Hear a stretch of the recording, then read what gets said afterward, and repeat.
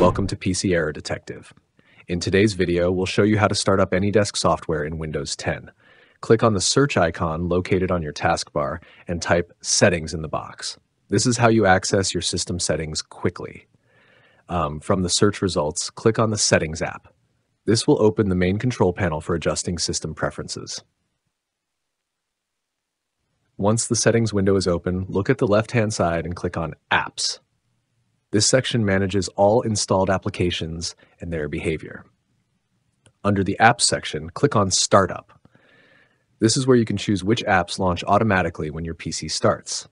Look through the list and find AnyDesk Software GmbH. This entry controls whether AnyDesk runs when you log in. Toggle the switch next to AnyDesk to turn it on. This ensures the software starts automatically every time you sign in to Windows 10. And that's it. Thanks for watching, and don't forget to subscribe to PC Error Detective for more helpful tech tutorials.